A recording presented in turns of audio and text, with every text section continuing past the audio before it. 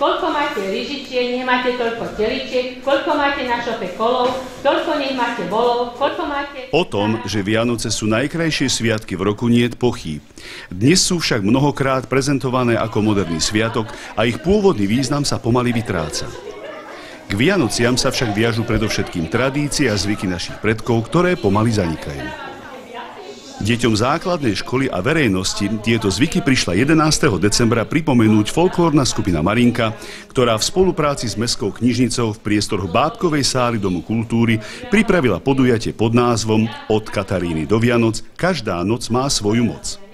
Do poludnia sa na podujatí zúčastnili deti 3., 4. a 5. ročníkov základnej školy v Novákoch a popoludní verejnosť. No a potom prišiel ten najkrajší deň, na ktorý vy najviac čakáte. A to je štedrý deň, keď ráno na štedrý deň stali z postele, tak nesmeli stať bosou nohou na zem, ale hneď si obuli papuče. A od rána nesmeli nič jesť. Až do prvej hviezdičky museli byť hladní, áno? Ani môžeme jesť meso. No, gazdina na ten štedrý deň, čiže ako keď vám poviem, že vaša mamina by na štedrý deň ráno stala ešte, čo ja druhej noci, zamiesila by na koláče, čiže na buchtičky makové, alebo proste zamiesila by na takéto nejaké, kedy si sa robili na štedrý deň paltušiky, takéto, nerobili sa šišky, lebo šišky sa robili na pašiandy, ale na Vianoce sa robili paltušiky. A ona do úsvitu, kým vyšlo slnko, musela mať všetko upečené, lebo... Deti sa dozvedeli, ako naši starí rodičia prežívali celé Vianočné sviatky. Ako bolo v rodinách veselo nie len na Mikuláša a na štedrý deň, kedy sa dostávajú darčeky, ale aj na iné sviatky. Na Katarínu, na Ondreja a v deň Lucie. Vyšíme vám tieto výročité sviatky, Krista Pána narodenia, zdravia, šťastia, božského požehnania a po smrti kráľovstva nebeského osviatnutia. V Novákoch sa nosili modré, ale ťažko sa nosili čavoje.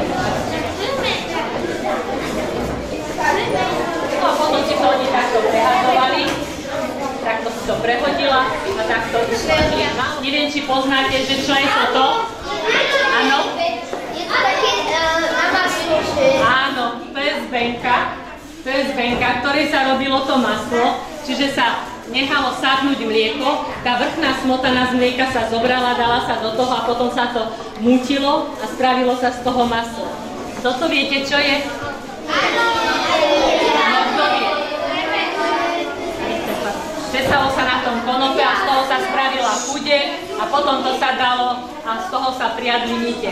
Česačka sa to volalo, hej, aby ste vedeli. Keďže gazdina musela zamiesiť na veľa koláčov, keď prvej bolo aj 10 detí, tak mala takéto väčšie, takúto, takéto väčší bahan, v ktorom zamiesila testo na chlebiky a na tie koláčiky. Dávala si vytisnúť potom chleby do ošítka. My tu máme takéto sypko si preosievali múčku, ktorú si dali zomleť do mlyna.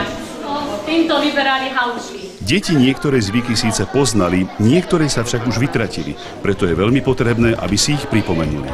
Možno budú aj oni niektoré dodržiavať a tak odovzdávať ďalším generáciám.